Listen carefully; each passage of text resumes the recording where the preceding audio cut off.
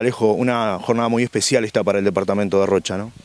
Sí, siempre las jornadas electorales son fundamentales para la vida democrática, eh, son jalones que, enriquecen el concepto de la ciudadanía. Para nosotros, quienes amamos profundamente la democracia el sistema democrático, esto es la, fiesta. Eh, obviamente que después vienen los tiempos de gobernar, de tomar las responsabilidades y ejecutar eh, las promesas y todo aquello que uno transmitió a la ciudadanía. Pero esta es una, es una fiesta de la institucionalidad.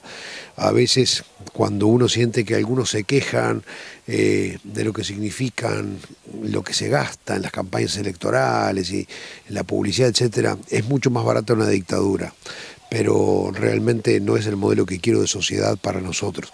Me parece que esta es la forma de convivir en la diferencia, en la disidencia, de consensuarlas, de trabajar, de que toda la gente pueda pensar eh, soluciones para su entorno, para su departamento, para su pueblo, para su alcaldía, y es la forma de enriquecer la vida y, es lo que genera en definitiva el avance de la vida de la sociedad. ¿Cómo es la jornada de Alejumpierres hoy?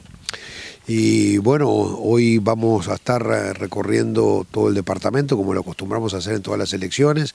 Nosotros en la mañana lo que hacemos es estar en el comité, ver que todo esté exactamente en orden, en el comité central, revisando la instalación de todos los circuitos en todos los rincones del departamento, de que esté todo bien.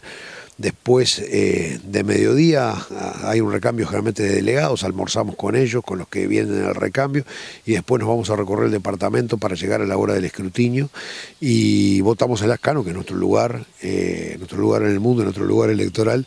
Allí estamos votando a las 3 de la tarde. Y además, ¿dónde se esperan los resultados?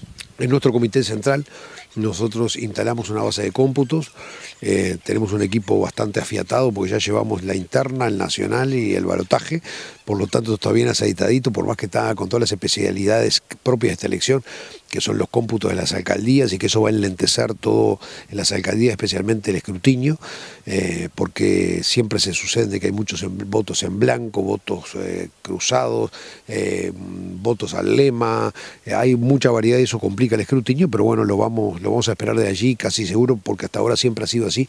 Tenemos una proyección del resultado antes que le da corte electoral.